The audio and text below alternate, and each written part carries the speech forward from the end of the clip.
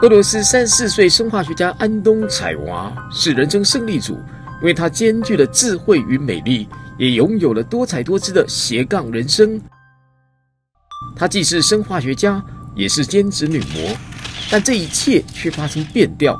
上周四，她的男友进门，发现她已全裸身亡。更惊悚的是，她的手指竟被切断了。而且，他的工作主管在他死后，还曾收到自他手机传来的请假讯息。警方获报后，根据此情资，成功破案。原来，凶手曾向他借钱，当天疑似以还钱为由碰面。凶手行凶后，想用他的手机请假故布疑阵，却无法解锁，就将他的手指切断，再以断指通过他手机的指纹辨识功能，假冒他请假。警方已逮捕凶手，也在凶手住处取出他的断指。